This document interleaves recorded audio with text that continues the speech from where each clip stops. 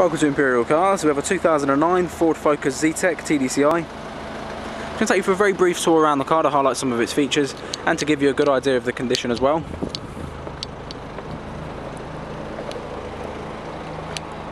So as you can see, the bodywork around the car is in nice condition. We'll focus in on the left hand side first of all. So you can see right in closer, there's no dents, scrapes or scratches at the paintwork.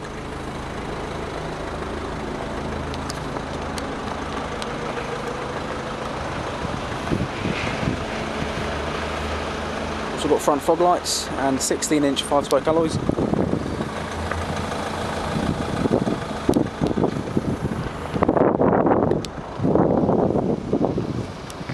Okay, so let's take a look inside the car now then. Got full cloth upholstery, all of which will be very nicely looked after. You can see there's no rips, tears or stains to any of the seats front or back. Really spacious front cabin,